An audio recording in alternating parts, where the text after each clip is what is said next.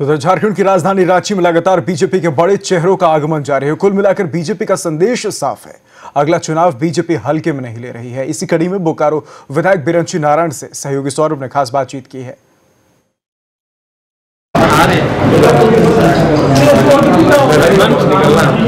चौबीस चुनाव को लेकर लगातार राजनीतिक दल रेस नज़र आ रही है। भारतीय जनता पार्टी झारखंड प्रदेश में भी शीर्ष नेताओं का आगमन जारी है। विधायक नारायण।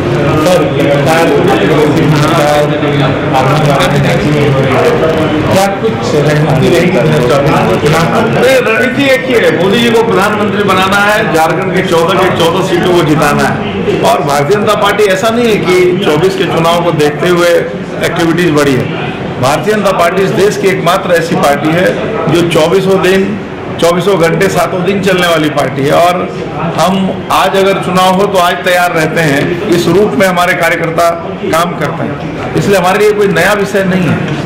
तो जेएमएम के नेता ये लगातार आरोप लगा रहे हैं कि भारतीय जनता पार्टी अपने नेताओं को बुलाकर सिर्फ़ एक एजेंडा तय कर रही है कि हम चुनाव जीतने जा रहे हैं। ऐसा कुछ होगा झारखंड मुक्ति मोर्चा की बात करनी बेमानी है। 24 में जाने वाले हैं। बंगाल की खाड़ी में ये जिस तरह से इन्होंने भ्रष्टाचार किया है, जिस तरह से भ्रष्टा, लूट मचाया गंध मचाया है, पूरा सिस्टम बज बजा दिया है।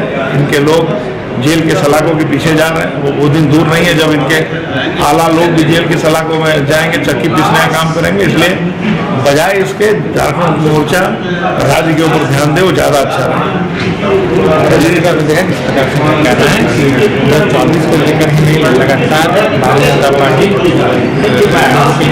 Disculpen.